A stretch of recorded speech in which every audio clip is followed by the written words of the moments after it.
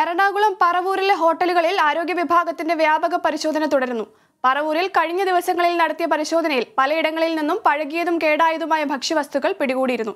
പരിശോധനയിൽ പഴകിയ ഇറച്ചിയും പച്ചക്കറികളും കണ്ടെത്തിയതിനെ തുടർന്ന് കുമ്പാരി ഹോട്ടൽ അടച്ചിടാൻ നിർദ്ദേശം നൽകി. ഭക്ഷ്യവിഷബാധയേറ്റ സംഭവത്തിൽ മജ്ലിസ് ഹോട്ടലിലെ പ്രധാന പാചകക്കാരനെ റിമാൻഡ് ചെയ്തു. ഹോട്ടലിന്റെ ഉടമകൾക്കായുള്ള അന്വേഷണം തുടരുകയാണ്. വധശ്രമം ഉൾപ്പെടെയുള്ള കുറ്റങ്ങൾ ചുമത്തിയാണ് ഇവർക്കെതിരെ കേസെടുത്തിരിക്കുന്നത്.